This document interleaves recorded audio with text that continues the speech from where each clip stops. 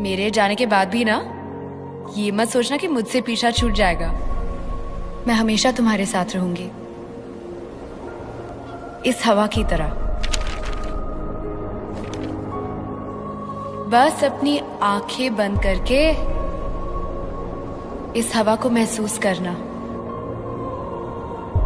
जब भी तुम्हारे चेहरे को छुएगी, तब समझ लेना कि ये मैं हूँ।